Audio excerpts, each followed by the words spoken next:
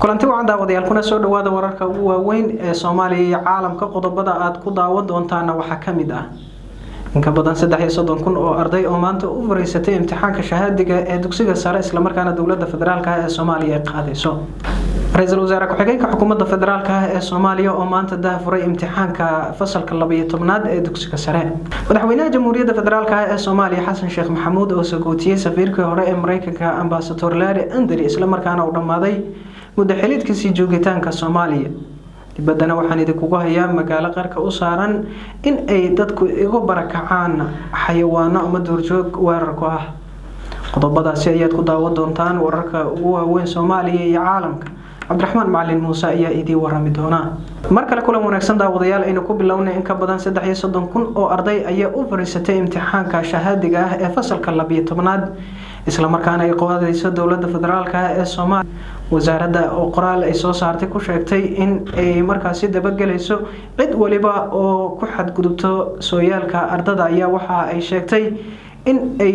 islamarkaana soo gudbeen in ka badan saddex iyo soddon kun arday in ay u fadhiistaan imtixaanka shahaadiga ee fasalka labiyo tobnaad. Wasiirka wasaaradda faarax sheekh cabdulqaadir oo hadal kooban jeediya ayaa sheegay in ay dabagelayaan islamarkaana ay tallaabo cad ka qaadi doonaan dugsiyada islamarkaana soo gudbiyey ardayda aan liiskoodu saxnayn. Dhanka kale ra'iisul wasaare ku-xigeenka xukuumadda federaalk ah ee soomaaliya saalax axmed jaamac oo furay imtixaanka ayaa waxa uu sheegay in dhalinyartu boqolkiiba sideetan ay tahay dalka soomaaliya islamarkaana loo baahan yahay in ay wax ka bedesho taariikhda soomaaliya ra'iisul wasaaraha ra'iisul wasaare ku-xigeenka oo hadal kooban ka jiidinaya furitaanka ayaa ugu baaqay dhalinyarada u fariisanaysa imtixaanka in ay markaasi ay muujiyaan kaalintooda islamarkaana mustaqbal wanaagsan uu rajeeyey. Wasaaradda waxbarashada iyo bahweynta waxbarashada oo suurtogeliyey maanta in imtixaan aada u abaabulan laga soo shaqeeyey la ilaaliyey la xafiday la diyaariyey u diyaariyey da'yarta ummadda soomaaliyeed oo ah aayaha dalkan iyo dadkan uu leeyahay waxa cad sida ka muuqata afartanka dhallinyarada ee halkan hor taagan ee ka shaqaysa miidiyada dalkani inuu yahay dal da'yar. Boqolkiiba siddeetan dadkiisu waa da'yar weeye. Macnaheedu waxa weeye hadba sidii dadkaa wax loo gashado dhallinyarada ah buu aayaha dalkanina noqonaya. Tacabka la geliyo sida loo diyaariyo sida loogu tabco wax loo baro loo dhiso jidh iyo maskaxba ayaa aayahoodu noqonaya. Si dhow baannu ula soconnay hawsha ka socota wasaaradda waxbarashada xilligii hore dowladdii hore tii ka horraysay ilaa tan ama geeddii socodka waxbarashadaba. Waxaa hubaala maalinba maalinta ka dambaysa in tayada waxbarasho ee uu helayo muwaadinka soomaaliyeed ay kordhayso. Waxaa hubaala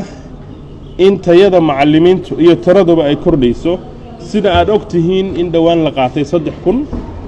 laguna tala jiro in kumannaan kun oo kale la qaato. Waxaa hubaala in fursadaha waxbarasho ama scholarship iyo xirfadaha kala duwan ee uu muwaadinka soomaaliyeed baran karaa inay maalinba maalinta ka dambaysa isa sii beddelayaan lana jaan qaadayaan dhaqaalaha adduun ee hadda jira. Walaalayaal soomaali meelay joogtaba waa inay ogaato aayahinu inuu ku xidhan yahay sida aynu u dhisno khayraadka dadkeenna. Human capitalka waxaan la yidhaahdo markaas baynu kalluunkana daban karnaa oo iibgeyn karnaa beerahana falan karnaa tabarna dhalin karnaa waddooyinkana dhisan karnaa cimilada isbeddelkeedana la falgeli karnaa adduunweynaha iyo dalalka dhiggeenna ah la tartami karnaa. Maalin dhoweyd waxaa dalka soomaaliya uu qayb ka ahaanayey urur dhaqaalaha afrikada bariga east africa economic communities ayuu qayb ka noqonayay. Ergo boqol qof ku dhow oo ka kala socota dalalka iyo ururka ayaa dalkan yimi. Waxaa loo yeedha howlwadeennada soomaaliyeed ee wasaarad walba ka socda ta shaqada ta waxbarashada ta ganacsiga halkaa waxaa laga cabiraya dalka soomaaliyeed dad ahaan ma u diyaarsan yahay inuu adduunka la macaamilo waxna ay kala iibsadaan waxna soo wada saaraan. Marka si aynu horumar uga samayno meel walba oo suurtagalah waa muhiim inaynu da'yarteenna wax baranno waxyaabaha aan wasiirka ka falanayno haddana uu gacanta ku hayo waxaa ka mid ah in indho xeel dheer lagu eego sidii loo kobcin lahaa loo tayin lahaa waxbarashada ummadda soomaaliyeed. Xukuumaddan sida goobo fara badan baanu ka sheegnay daryeelka bulshada oo ay ugu horrayso waxbarashada iyo caafimaadku wuxuu u yahay udubdhexaad waxaan rabaa inaan halkan bogaadiyo ugana ducayno da'yarta maanta waxaan u malaynayaa soddon saddex iyo saddex kun iyo kontomeeyo goobood oo dalka ah. Boqol iyo toban iyo afar goobood oo dalka ah ku gelaya doorasho ku gelaya imtixaanaadka. In aan halkan uga ducayno dhiiri gelinno garabna taagannahay markay ka baxaan imtixaanaadkana sidii ay waxbarasho heersara u sii wadi lahaayeen waa qorshayaasha diyaarka nooca waxaan rabaa inaan si gaara maanta fursaddan uga faa'iidaysto inaan u mahad celinno. Muwaadin walboo soomaaliyeed oo doorta inuu macallin noqdo. Sida ay ohan jirtay heestii macallinku waa waadiga waraabinaya maskaxaha dhallinyarada waxaan rabaa macallin walba oo maanta taagan oo sixi doona oo ilaalinaya oo barbaarinaya ardayda soomaaliyeed inaan u mahad celinno xuquuqdooda iyo xaqooda iyo noloshoodana sidii loo kobcin lahaa loo beli lahaa laga shaqeeyo. Guul iyo gobonnimo ayaan u rajaynaynaa dadka soomaaliyeed gaar ahaan dhallinyarada ardayda ah madaxweynaha jamhuuriyadda federaalk ah ee soomaaliya ayaa kulan sagootin ah la qaatay ambasador laari andari oo dhammaaday joogitaankiisii cariga soomaaliya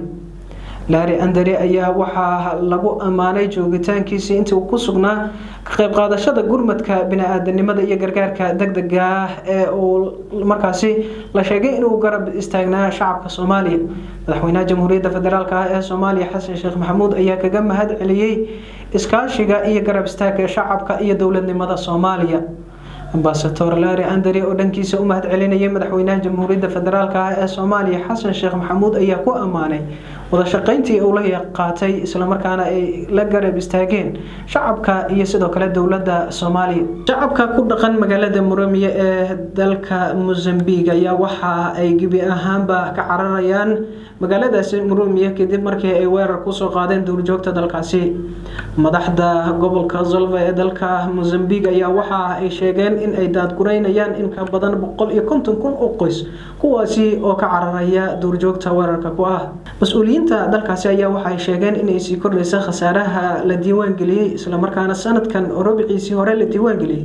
in ka badan saddex qof oo ay dileen duurjoogta dalkaasi. Guud ahaanba waxaa intaasi ku idil wararka ugu waaweyn soomaaliya iyo caalamka ee tv-ga hiraanweyntan iyo kulanti dambe waxaan idinkaga tegayaa nabadgelyo bishaaro bishaaro bishaaro shirkadda isgaarsiinta somtel oo soo kordhisay adeega kaafiya balas kaasoo aad ka heli kartid nus dolar ilaa iyo konton dolar haddaba macamiil ku shuba nus dolar oo hel hal dhibic shan g b oo ay la socoto toddobaatan daqiiqo iyo konton fariin qoraaleed ku shuba hal dolar oo hel saddex g b oo ay la socoto boqol iyo afartan daqiiqo iyo konton fariin qoraaleed sidoo kale macamiil ku shuba laba dolar oo hel lix g b oo ay la socoto laba boqol iyo siddeetan daqiiqo iyo boqol fariin qoraaleed ku shuba shan dolar oo hel saddex iyo toban g b iyo bar oo ay la socoto lix boqol oo daqiiqo iyo laba boqol oo fariin qoraaleeda sidoo kale macaamiil ku shubo toban dolar oo hel soddon g b oo ay la socoto kun iyo laba boqol oo daqiiqo iyo saddex boqol fariin qoraaleed. Ku shubo labaatan dolar oo hel toddobaatan g b oo ay la socoto laba kun iyo afar boqol oo daqiiqo iyo saddex boqol s m s. Sidoo kale macaamiil ku shubo konton dolar oo hel boqol iyo konton g b oo ay la socoto lix kun oo daqiiqo iyo saddex boqol s m s. Adeega kaafiye blas waxaad ugu shuban kartaa idahab xidig hal eber hal afar geys airtime xidig laba boqol afar geys reseller xidig